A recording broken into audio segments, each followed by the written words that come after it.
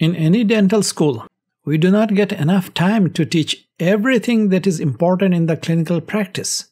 We just don't have enough time. We teach the most important anatomic landmarks. In the University of Minnesota, we get about 70 hours of lecture time for radiology. Even with these 70 hours of lecture time, we have to skip some information. Today, I have the opportunity to talk to all of you about some of the lesser known canals and foramina. Obviously, the question is why should we know the lesser known canals and foramina? Many of these canals and foramina are important anatomic landmarks which play crucial roles in the health of the patient. Some of these canals and foramina are important for implant placement or for other surgical reasons. So let's start with some of these anatomic variations. I thought that I'll talk to you about these seven anatomic variations. First, I'll talk to you about mandibular incisive canal. Then I'll go to a mental foramina. Remember, I'm not saying mental foramen, I'm saying mental foramina. So I'll show you examples of multiple foramina in the mental foramen region. Then we'll go to retromolar canal, nasopalatine canal, canalis sinuosus, infraorbital canal, and zygomaticofacial foramen. Let's start with mandibular incisive canal. The mandibular incisive canal is in the midline. It can be lingual, can be labial. Many times these are right at the midline. Sometimes they are around the premolars or little farther posteriorly. So we call these are paramedian or posterior. So here is on a cross section, we can see what are the locations of these canals.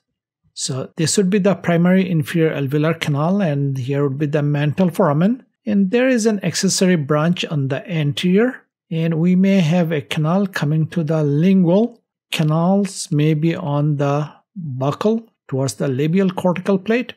There may be some canals here going from posterior towards anterior or from anterior towards posterior and there could be some in, even in the posterior region. So I'm going to show you a CBCT scan of a patient with a few missing teeth and this is an axial section the axial section is as if you are standing at the foot of the patient. This is the mandible. This is the outline of the symphysis area, and that's the soft tissue outline of the chin. And here, this discontinuity on the buccal cortical plate, that's the left mental foramen, and this would be the right mental foramen. So I'm going to look in this area on this particular window. So I'm going to look at this area because this is where we may have the mandibular incisive canal. So I'm going to get a reference point right here and this is the cross section and maybe I'll make it little larger so that you can see the image better. So here we are. This is the mandibular incisor. That's the maxillary incisor. This is the buccal cortical plate and that's the lingual cortical plate. And what we can see here, here is one canal, here is another canal, and there is a canal on the buccal cortical plate. So as you go anterior to posterior, you can see that this, there are three different canals. If I move superiorly, and let me take the blue line away, and that's the foramen and the canal.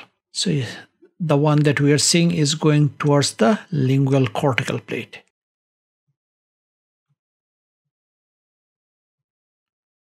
You can see here is another canal. Right here is another canal on the labial cortical plate. And this is the mental foramen. So that's the canal on the labial cortical plate. Maybe we can try to identify it on this image right here. So this is the area of the canal on the buccal cortical plate or the labial cortical plate. So there can be multiple canals in the mandibular anterior region. So we saw on on the lingual.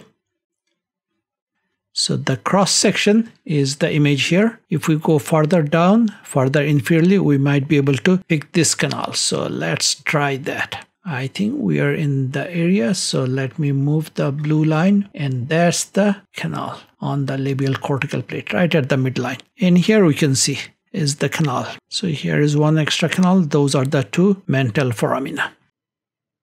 So what is the importance of learning about the mandibular incisive canal? The most important is during implant placement, many times the symphysis region is used to harvest bone for grafting. And if you have a blood vessel on the labial cortical plate, you might damage that area and that could continue to bleed and because it's a neurovascular canal, the patient may continue to experience pain. If you have a resorbed mandible and you are going to place an implant, you should be careful about the mandibular anterior region because you might be perforating extra neurovascular canals in the mandibular anterior area. I would recommend that if you have time, read this paper published in 2011 Evaluation of the Location and Dimensions of Lingual Foramina using Limited Cone Beam Computed Tomography. And this paper will describe a lot of information that you might find beneficial for your clinical practice. Let's move to our next condition and we are going to talk about mental foramina. We all know about mental foramen and we are going to show you today about multiple mental foramen. So let's again go to a CBCT scan and identify multiple mental foramina. So let's look at this patient who has multiple mental foramina and I'm using a software called On Demand 3D and the software is very good for a 3D reconstruction. And already before I'm going through the panoramic reconstructed image or the axial slice or the coronal slices or the sections, I can already see on the 3D reconstruction that this patient has multiple mental foramina. So you see here, there are three mental foramina.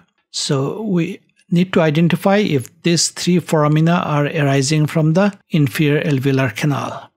We can also see that there are some anterior mandibular canal or incisive mandibular incisive canals and then we may have a canal here foramen one foramen here these two are other foramina and we want to see if these two are also arising from the mandibular canal so what i'm going to do i'm going to create a cross section in the premolar region so this is first premolar second premolar so let me take a reference point and this is our first premolar. So I'm going to make a cross section here.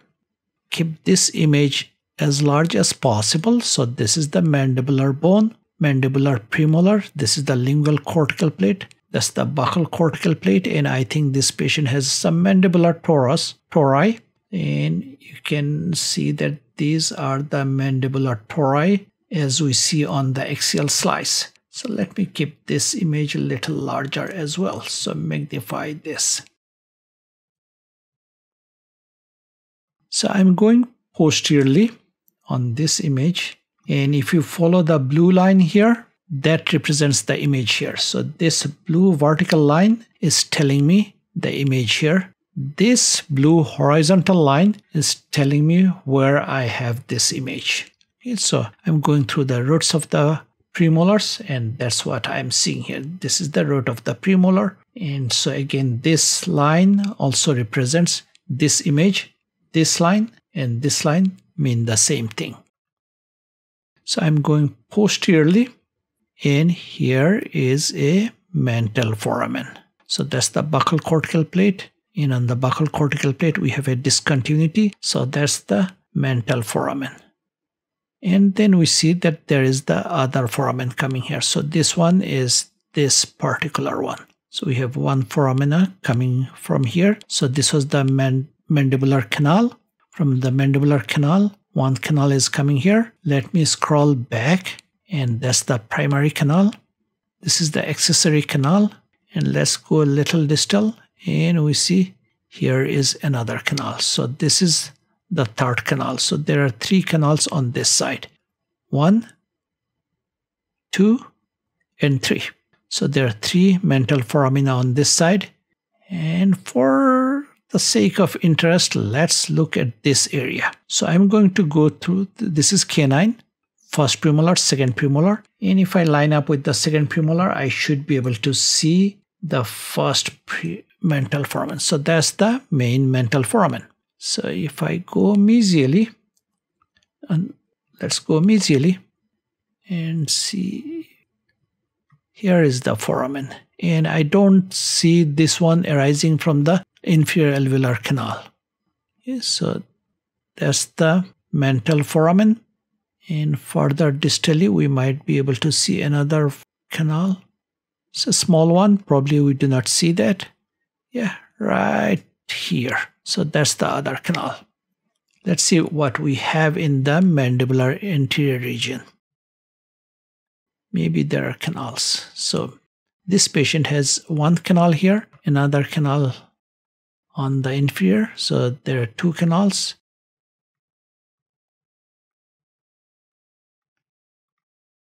Here is a labial canal that we saw here.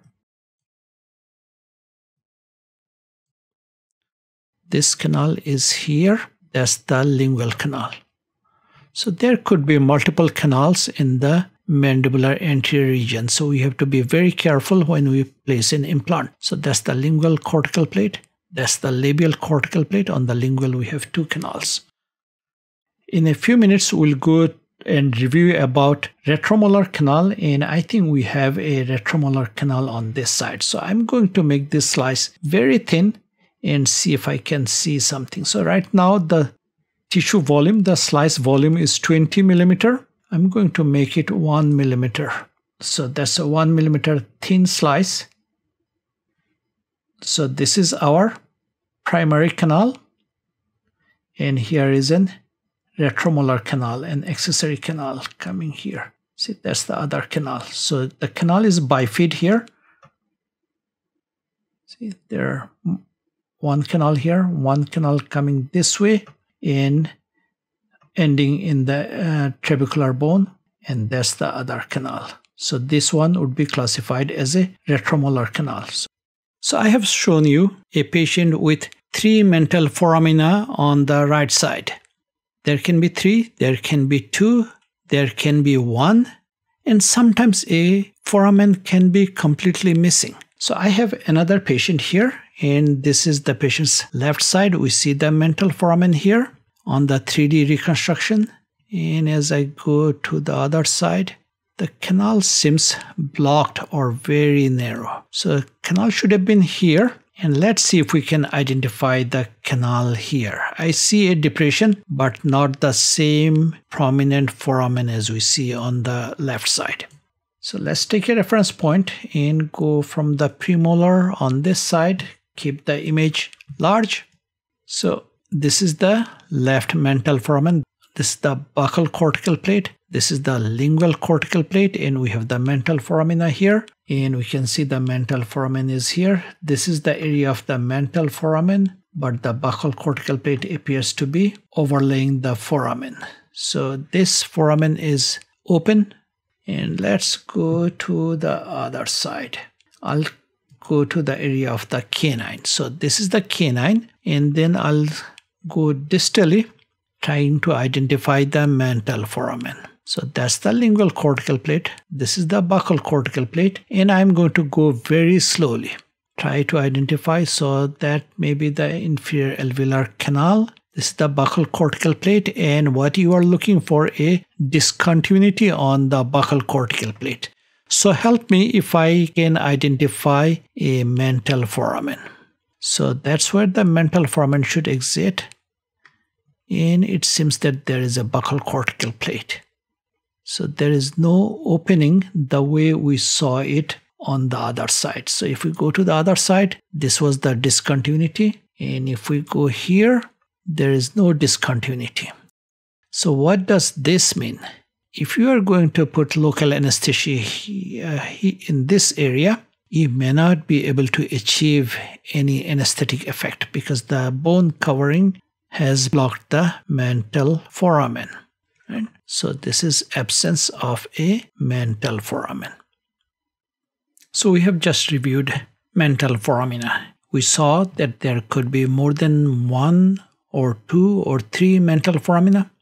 And we also saw that there could be an absence of mental foramina as well. So, what's the frequency of multiple mental foramina? There are several publications. Some report that this is around 2% of the population to more than 20%. This is probably not correct. We have to have mental foramina when there are additional foramen arising from the mandibular canal. In one example, we saw that there were two foramina on the buccal cortical plate on the left side, but this did not appear to be arising from the mandibular canal. So in that case, that does not fulfill the criteria of mental foramen or mental foramina. So this number may not be correct. The number is around 2% to 7 or 8%. That's what most of the publications report. Some patients have bilateral multiple mental foramina, and there could be absence of mental foramina or absence of mental foramen, and we saw that. The clinical importance for multiple mental foramina is when you are trying to get a local anesthesia or in case of surgery in the area of the premolars, we should be aware of presence of multiple mental foramina. If we're going to place an implant in the premolar region, again the location of the mental foramen or multiple mental foramina plays a crucial role. I have two suggestion papers for you detection and characterization of accessory mental foramen using cone beam computed tomography. And this one is a study of about 4000 CBCT scan for the prevalence of accessory mental foramina. I had shown you one case of retromolar canal, and maybe we can continue with discussing about retromolar canal. Let's start with a panoramic radiograph. Then I'll try to identify another CBCT scan to show you retromolar canal. So here on this panoramic radiograph, we can see that this is the primary canal and here is a curvature and that's the retromolar canal. So we have first molar, second molar, third molar is missing and here is a retromolar canal. Retromolar canal could be vertical, could be horizontal, could be straight, could be at an angle, so there could be different orientations. Most of the retromolar canals are vertical on the distal aspect of the third molar. It can be horizontal and can be bifid mandibular canal. The importance of knowing about retromolar canal is during third molar extraction. Also in the third molar region, we frequently see cysts and benign tumors like an odontogenic keratocyst or an ameloblastoma. In, in such cases, it's important to know if there is an accessory canal. Also, external oblique ridge is a frequent site for graft harvesting. So if you are planning to harvest graft from the third molar area on the buccal cortical plate, you have to evaluate the radiographs to identify if you are violating any accessory retromolar canal. These are two papers that I would suggest you to read a retromolar canal and its variation, classification using cone beam computed tomography, and radiographic study of mandibular retromolar canal and anatomic structure with clinical importance. So at this time, let's go and review a CBCT scan to look at retromolar canal. So let me use this CBCT scan to show you an example of a retromolar canal. We have a patient with a CBCT scan of the mandibular arch only. On this software, which is on demand 3D, I have created this reconstructed panoramic radiograph of the mandible with a tissue thickness of 20 millimeter. For our evaluation of this area, that's the third molar area, we have first molar, second molar, and third molar area. And I know that there is a retromolar canal. So I'm going to show it to you by making this panoramic reconstruction with a thin slice. So currently I have thickness at 20 millimeter. I'm going to make it say about 1 millimeter. So it's a very thin slice. So that's how a very thin slice looks like. What I'm going to do, I'm going to make this image a little larger so that we all can see it better. So this is the magnified view this is the left inferior alveolar canal and I can change my positions here and maybe I can see the canal little better. Yes, so you can see that I'm picking up the canal little better. This is the left mental foramen. That's the right mental foramen. We have inferior alveolar canal on the right side. First molar, second molar, third molar area. Third molar was extracted. And here from this canal, we have an accessory branch coming and moving vertically up. So that's the retromolar canal here. Let's see how we can uh, see this canal on a coronal slice. So I'm going to take a reference point and put a slice here. So the canal is in this area. I know that it's covered by the reference point or the crosshair. So what I'm going to do, I'm going to remove the reference line and we'll see it better. So this is the buccal cortical plate of the ramus. So are in this area. Maybe we can make the image bigger. So there's the vertical retromolar canal. This is the inferior alveolar canal. This is the buccal cortical plate and that's the lingual cortical plate. I don't think I have a retromolar canal on the left side. Maybe I do, a very small one. So let's take a reference point here and if I can see, yes, that's the foramen exiting on the alveolar crest in the third molar area. So again, this is mandibular left first molar, mandibular left second molar, third molar is missing, and we have a retromolar canal here, somewhat zigzag appearance, and then we had a better canal on the right side. So this would be the retromolar canal. Let's move to the maxillary arch and learn about nasopalatine canal. As you know, nasopalatine canal is also known as an incisive canal. So this is a common knowledge for all the dental students. You already know about this landmark. So let's review a nasopalatine canal, a normal canal first, and then we are going to review a nasopalatine duct cyst. Right, so let's go to a CBCT scan and look at the normal nasopalatine canal.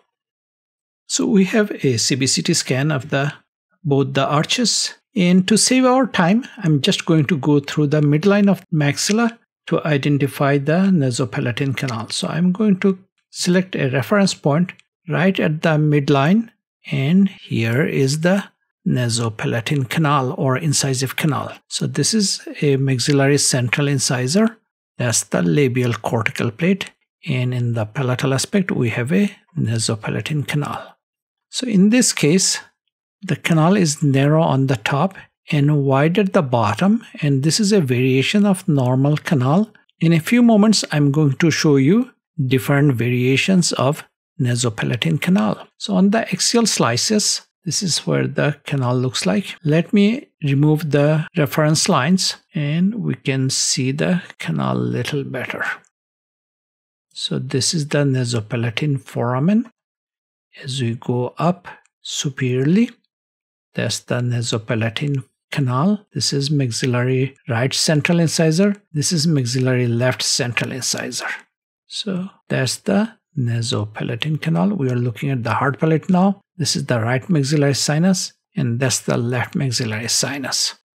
So nasopalatine canal may have different cross-sectional appearance and these are the four common appearance. One is a cylindrical which means from the top to the bottom superior to the inferior the canal has uniform width. So we'll call this as a cylindrical nasopalatine canal. So this is one type of normal canal appearance.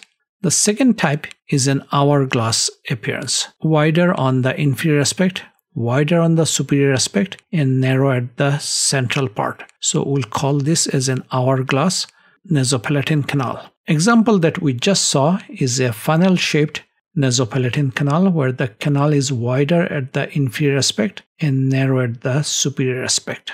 Then we have a variation of normal nasopalatine canal known as spindle shaped where the superior part is narrow inferior part is narrow and on the central part it's little wider so we have an curvature of the anterior wall curvature of the posterior wall. So this is a normal variation. This is the most difficult one because these curvatures may be the early stage of a nasopalatal duct cyst formation.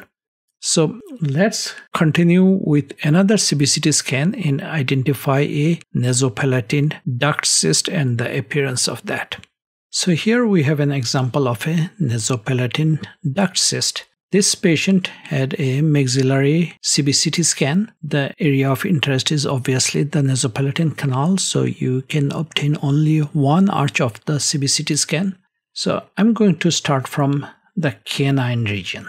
So let me take a reference point. Here is the canine. So that's the canine here. And I'll keep the images little larger here and maybe make this one little larger too.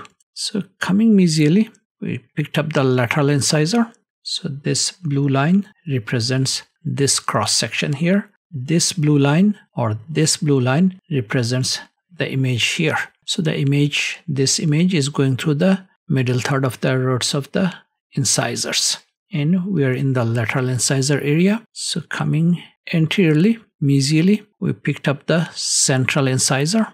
And here is the nasopalatal canal. So this is the superior margin, superior border of the canal this is the inferior part. Anterior wall is slightly curved. Posterior wall is also slightly curved. So currently this looks more like a spindle-shaped nasopalatal canal. But let's review the whole scan. And you can see that it's becoming wider. So here it's much wider. That's the area of number 9 the left central incisor and this is the nasopalatal duct cyst that's the superior part of the canal normal. And we go further and then we come between central and lateral incisor. So this is the interradicular area. The cyst has extended to the labial cortical plate. Labial cortical plate is thin and expanded. So now we are missing the labial cortical plate. That's the canal and here is the cyst So we are towards the distal part of the lateral incisor and we pick up the canine. So our blue line is going through the roots, not going to the cyst. See, cyst is here. So I'm going to move this blue line superiorly and see on the axial slices the size of the cyst.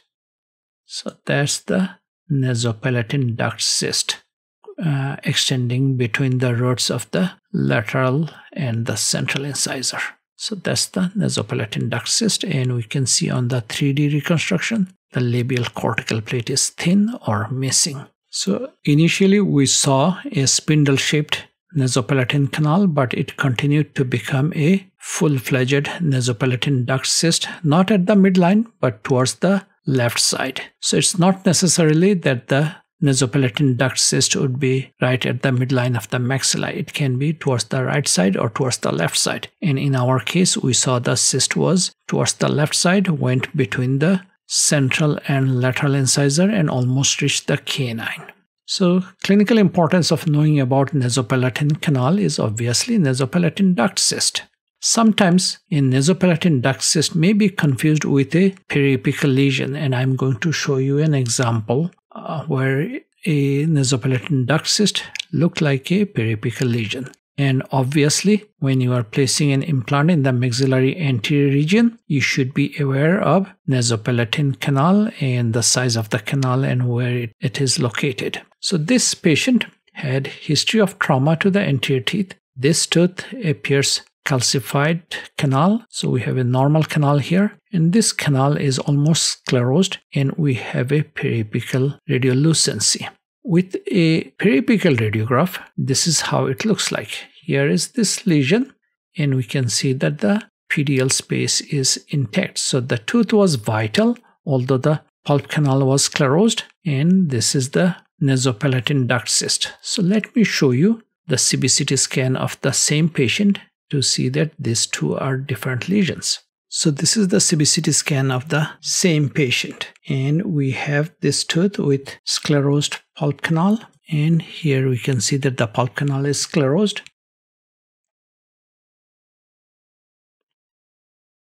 So here we can see that the pulp canal is sclerosed apex is slightly flattened and the lesion is here. So this is no way related to the tooth. And this is actually nasopalatine duct cyst. So that's the superior part of the canal. And inferiorly, here is the cyst. So this cyst is also not at the midline. This is central incisor. That's central incisor. The cyst is not at the midline. The cyst was towards the right side, almost looked like a superimposed over the root of the right central incisor. So knowing the relationship of the tooth and the nasopalatine canal is very important in ruling out a cyst of odontogenic origin and a cyst of nasopalatine canal. So for further reading, I'm recommending these papers. Morphologic changes of the nasopalatine canal related to dental implant placement, anatomy and morphology of the nasopalatine canal using cone beam computed tomography. In this paper, the nasopalatine canal in adults on cone beam computed tomograms. These three papers also talk about the classification of normal nasopalatine canal. Let's continue with another maxillary anterior region canal, less known but very important, and that's called canalis sinuosus. A canalis sinuosus is a canal originating from the infraorbital nerve. It's a branch that continues as anterior superior alveolar nerve and then supplies the anterior part of the maxilla. So this is how it looks like on a cadaver. So here we have the infraorbital canal so that would be the infraorbital nerve. And there is a branch. The branch comes here as anterior superior alveolar canal and then releases several branches here. So this could be bilateral. They are not exactly the same location. They're in different areas. The knowledge of this canal and its branches are very important for placing implants in the anterior region as well as for endodontic procedures. So let's review a CBCT scan to understand the concept of canalis sinuosus. We have a patient with a maxillary CBCT scan who wants to have an implant in the maxillary central incisor area in the area of tooth number 9. So the patient has orthodontic brackets and wires and this is the edentulous region and that is being planned for implant placement. So let's go with the reference point at the edentulous region. So that's the labial cortical plate and here is the nasopalatine canal. As we go distally, we see another canal here, right at the area of the proposed implant site. So let me show you on this view. Now we have a 10 millimeter thick slice and I'm going to make it as thin as possible, maybe about 1 millimeter. So the canal is here and it's here so that's the canal coming towards the edentulous region near the buccal cortical plate and here is the exit on this side we can see the canal let's see if I can pick it up There's the canal so this is the wall of the nasal fossa floor of the nasal fossa. This is the maxillary sinus and this canal is close to the sinus and it's known as canalis sinuosus and it goes anteriorly. So this is a good example to show you that in the edentulous region where the implant is being planned, here is an accessory canal. Let me remove the reference line so that you can see the canal better.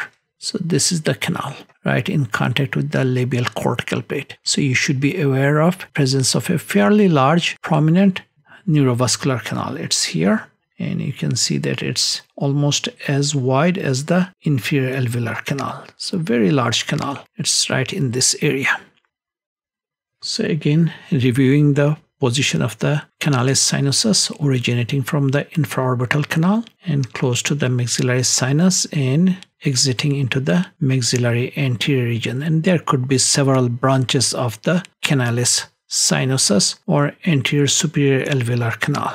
So these are the different papers that I'm recommending you for further reading. Anterior superior alveolar nerve and this is a detailed review done in 2015. These two papers are for evaluating canalis sinuosus, a study of 1000 cases. And this is a paper that talks about effects of implant placement in the areas with neurovascular anatomic variation. So the canalis sinuosus originates from the infraorbital canal. So let's review the infraorbital canal a little bit. It could be a canal only, it could be a groove only, so there is no wall, or it could be a combination of the canal and the groove. So this is how it may look like on a coronal section. The infraorbital canal could be inside the bone or partially protruded into the maxillary sinus. So this would be the maxillary sinus cross section or fully protruded. So let's go and review a scan that shows the infraorbital canal and the foramen. So we are going to review a scan of the maxillary anterior region to identify the infraorbital canal and infraorbital foramen.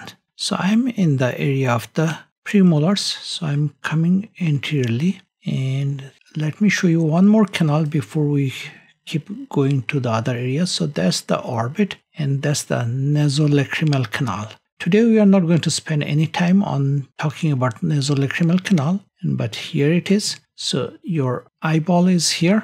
Nasolacrimal canal drains to the nasal fossa. So when you cry, your teardrops go through this canal and comes to the nose. So when you cry, your nose runs. Uh, so that's the reason. So that's the nasal nasolacrimal canal. So I'm going distally and this is the floor of the orbit. This is the superior border of the orbit. And here is the infraorbital canal. And we just across the infraorbital foramen. This is an important landmark because we put local anesthesia for the anterior region in this uh, foramen area. So as we go distally, you can see that the canal becomes compressed and narrow and almost disappears but the canal is still there. So what i'm going to do and i'm going to show you on the sagittal slices. So this is sagittal slice. This is a coronal view and that's the axial view. On the sagittal view that's the foramen and this is the canal. So the canal here we have a canal wall and there is no wall so this is a groove and that's the wall. So this is a combination of canal and a groove. So that's the anterior part of the inferior orbital foramen and this is the distal part.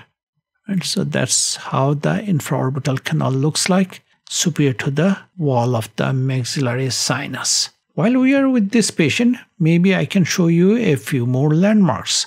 And it's good to keep this image big. So the infraorbital foramen is here. This is supraorbital foramen. And you can see that this patient has two supraorbital foramen. So that's again a variation of normal. This is single. That's what we had learned in the dental school of one supraorbital foramen. And but on this patient, we have two. As we complete the discussion about infraorbital canal, maybe we can use this scan to learn about another foramen. So, and this is this foramen. So that's the zygomatic bone. This is the zygomatico-frontal suture. So that's the frontal bone. This is the zygomatic bone. That's the zygomatico-frontal suture. This is the zygomatico-temporal suture here, zygoma and temporal bone, zygomatico-temporal suture. And that's the maxilla. And this is the zygoma. So this is the zygomatico-maxillary suture. And on the anterior aspect of the zygoma is a zygomatico-facial foramen And with this landmark. But before doing that, let's review a few more slides. So in our case, we saw canal which was completely embedded, at least in the anterior part, and then distally it became a groove. So let me go back one slide. We mentioned about a canal only, a groove only, and a combination of canal and a groove. And in our case, we saw on the distal part and the anterior part, it was a canal.